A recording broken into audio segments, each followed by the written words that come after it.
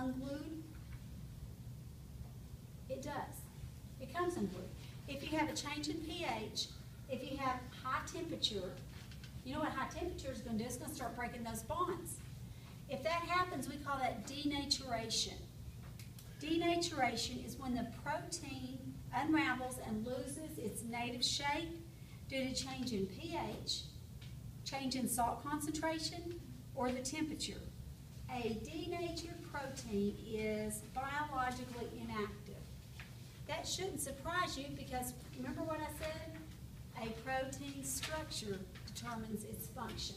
If you mess up the structure, the function's not gonna work. Number twelve says excessive high fevers can be fatal. You know why? Because proteins in the blood can denature at very high temperature. So that's why if you're, they worry if you're, um, one reason why they worry if you start having a high temperature.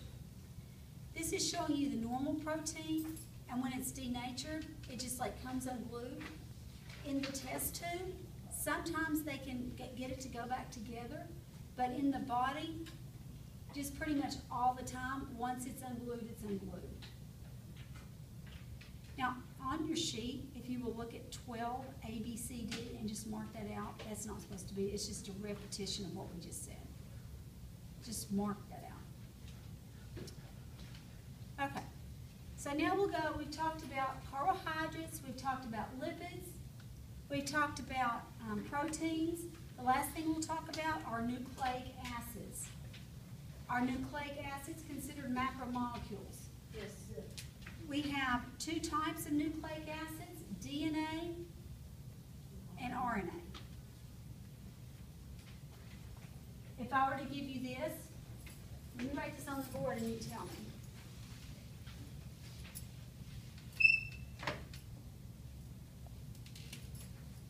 Okay, I wonder if I said, which is a macromolecule? And your choices are?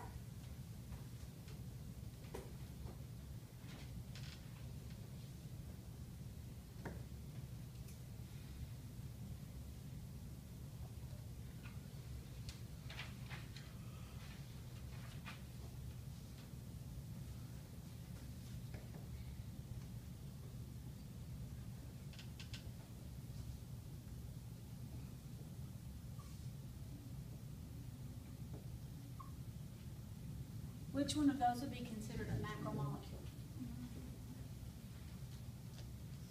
Well, are monosaccharides macromolecules?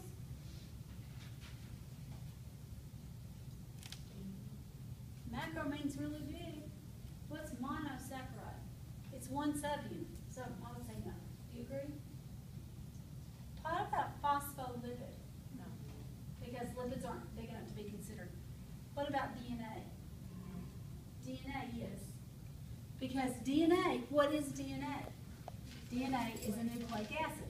Is nucleic acid, if I said, is, is nucleic acid a macromolecule, what would you tell me? Yep. DNA is a nucleic acid, so DNA is a macromolecule. Does that make sense? Now, it's made up of subunits. If we were to break it down and say, is one of those subunits considered? It's not, but a DNA molecule in itself is large enough to be considered because it's considered nucleic, also RNA. Genes are made up of DNA, which is a nucleic acid. There are two types, deoxyribonucleic acid and ribonucleic acid. Two important things that DNA does. Number one, DNA provides directions for its own replication. You know that your cells are constantly, let's say you, sometimes they just, they're old and they need to be, you know, um, you have, need to have new ones. Um, but if you scrape your skin, you need new cells made there too, right, for repair. So when it copies itself and it's gonna make a new cell, it's gotta copy its DNA or the new daughter cell is not gonna have DNA in it. Makes sense, doesn't it? So the two important things that DNA does, remember it's got, it's like the brains, it's got the directions. DNA codes for its own replication. That's important. Because we need DNA in the cells, the new daughter cells. Codes for its own replication. But that's not all. DNA also codes for messenger RNA.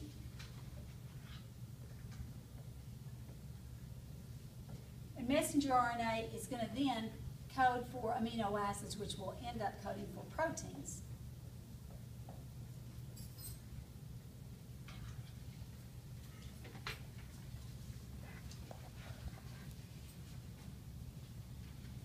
So the DNA, from the DNA, you get messenger RNA.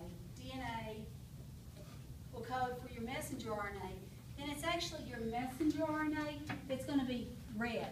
You know what I'm saying? That's when it says, okay, what are the, you have A, C, G, A, whatever, G, G, that's messenger RNA.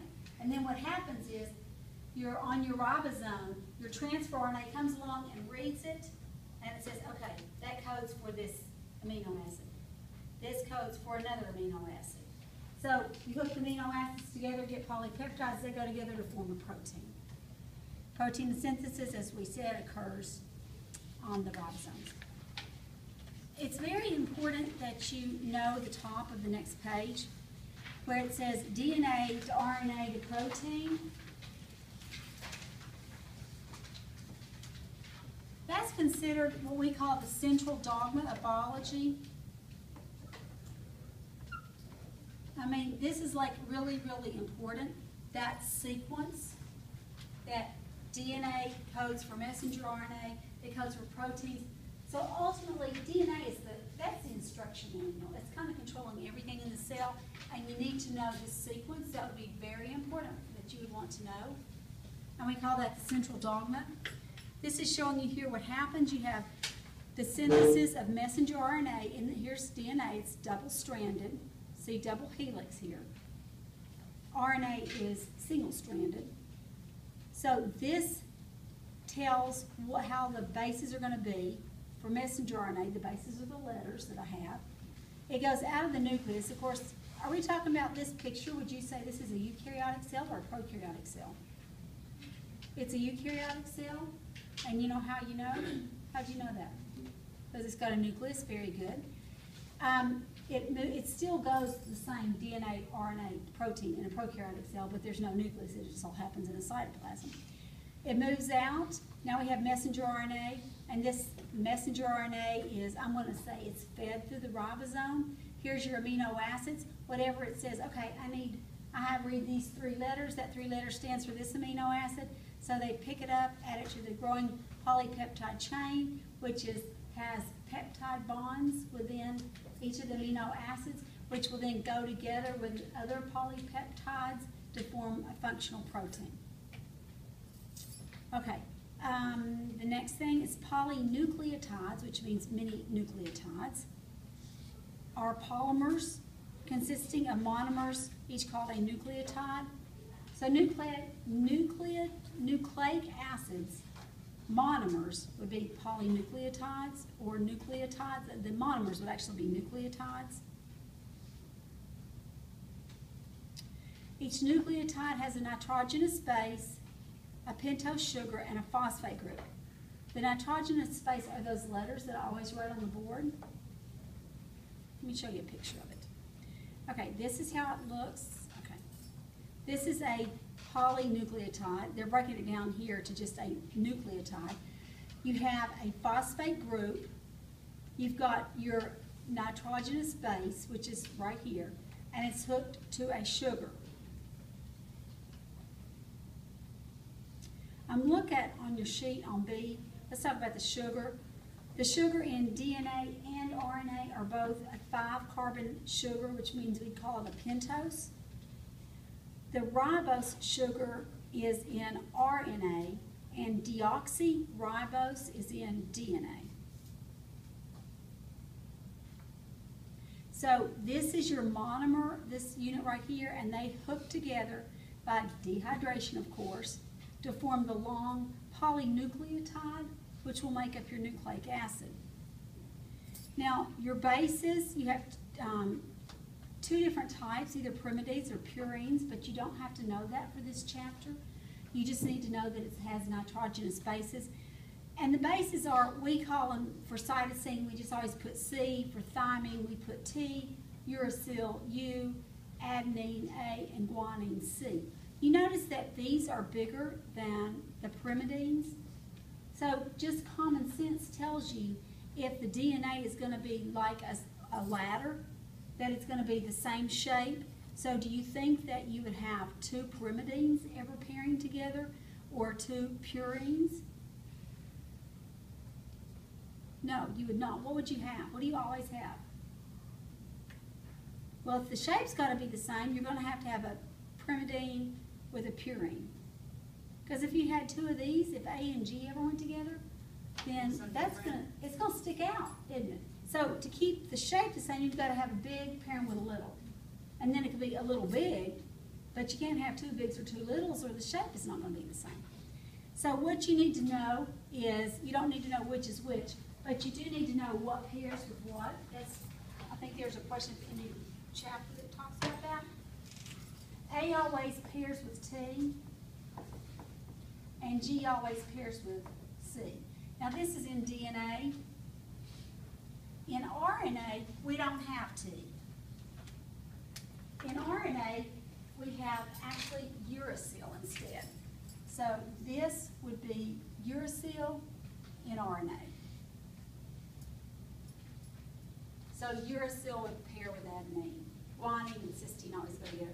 So we say that the strands are complementary, which means if you know one strand of the DNA nucleotide base, then you will know what the next one is. For example, if you've got this sequence, oh, let me show you this. One of my students in my interactive class said, an easy way to remember what goes together, these are kind of like curved letters, and these are straight. They're made by straight, which is pretty cool, isn't it?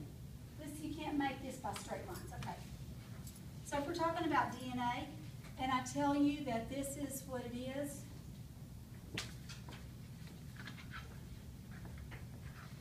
this is one, and I will tell you that they're directional, which means this one would be five prime, this end, they're different ends. This complementary base is going to be anti-parallel, so if this is five, this one will be three. If this is three, that's gonna be five. I want you to tell me what the letters. Could you figure out the letters on that second strand? I'll wait just a minute if you want, everybody wants to try to do that. Could we just flip flop? Well, you have to say, what pairs with G? Right. What pairs with T? A. What pairs with A? T. What pairs with C? G. A. Like that? Now, what you need to remember if you're doing a problem like this, if they say, what is the complementary strand? Check the direction of the strands, because DNA is anti-parallel, which means it runs in opposite directions. This is going in the five prime to three prime, this is three prime to five prime. You would never have both five primes at the same end. You'd never have both three primes at the same end. Um, let's see, is there anything else I need to tell you about that? Okay, about the sugars, I told you that deoxyribosine in DNA.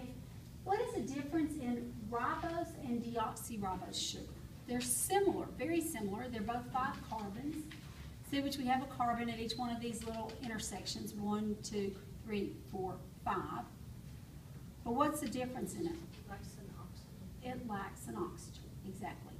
That's why we call it D, DE means without, OXY without an oxygen. And it's right here on the two prime. Do you see this one just has a hydrogen, this one has a hydroxyl group.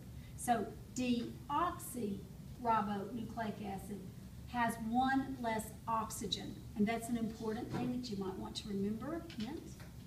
Deoxyribonucleic acid, DNA, has one less oxygen molecule than the sugar in RNA.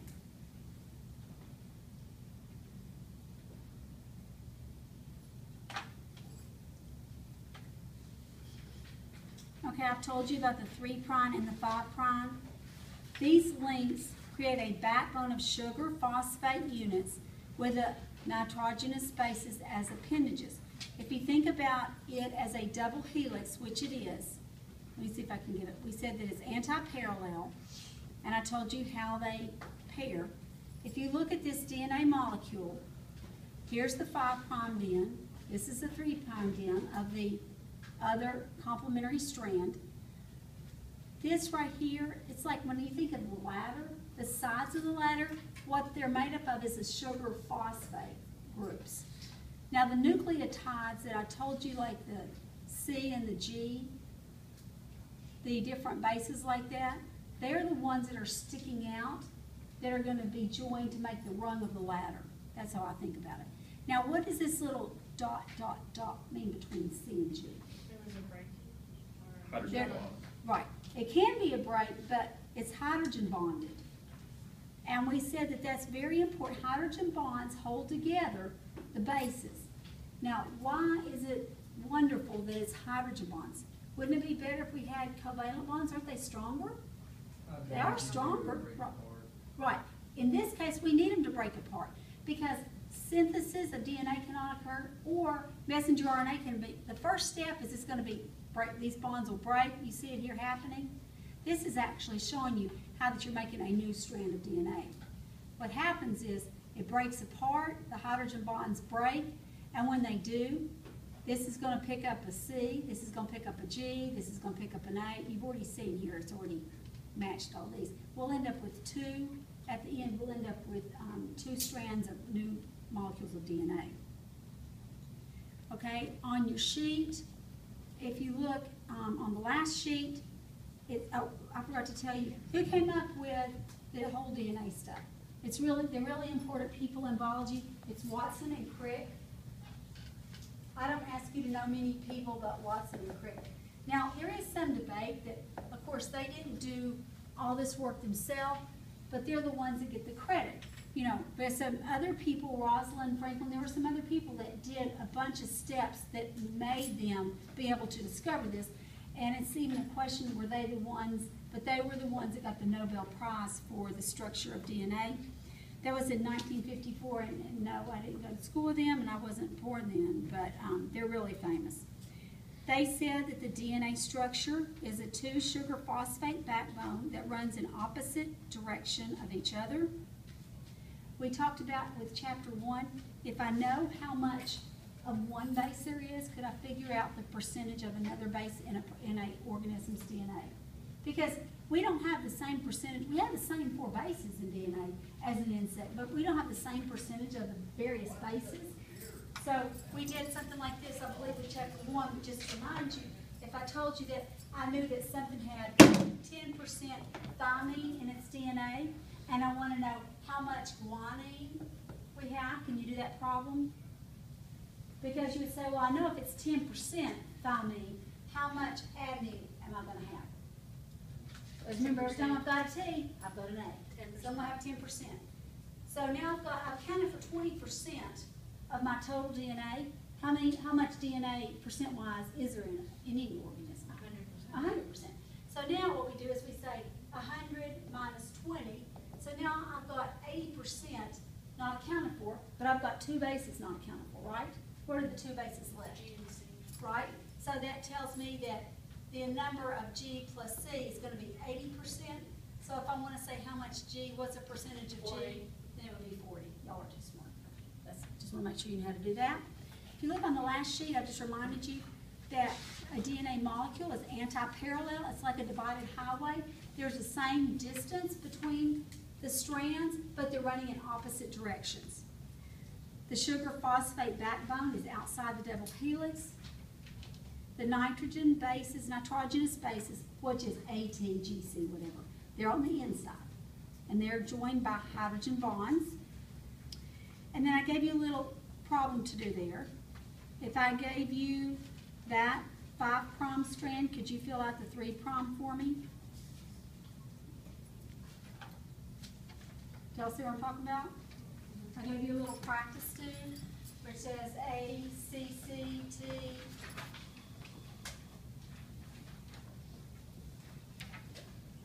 I think in your book, they give you a problem like this, And one of the choices that they put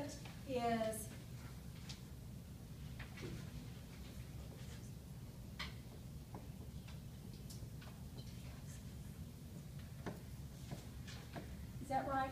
No, um, The bases are right, aren't they? yeah, What's wrong with it? it's going the same way. Okay, I just, that's right, because that would have to be three, that would have to be five prong. So I, I think you need to know something like that. They're predictable counterparts of each other. At the end of your chapter, here's a good, um, a little review of the different structures of everything. I don't know if you all look at these, but I think it's great. Which kind of like gives it in a little form of everything that we went over. This is just showing you, um, for an amino acid, how you have the amino group and you have the carboxyl group. You split that out and what kind of bond is gonna be formed if you do that. We have amino acid, amino acid, what kind of bond? It's a dehydration reaction, what kind of bond, yes? Peptide? Good, okay. That's just showing you, if I were to give you one string, could you tell me if it's mismatched or not, or which band is wrong? They ask you to make a little chart with the different um, molecules, what the monomers are, what the polymer would be, and the type of linkage. Okay, which shouldn't be a problem for you to do, but that's on your slide if you need it. Now, um, you have a test on Wednesday. I-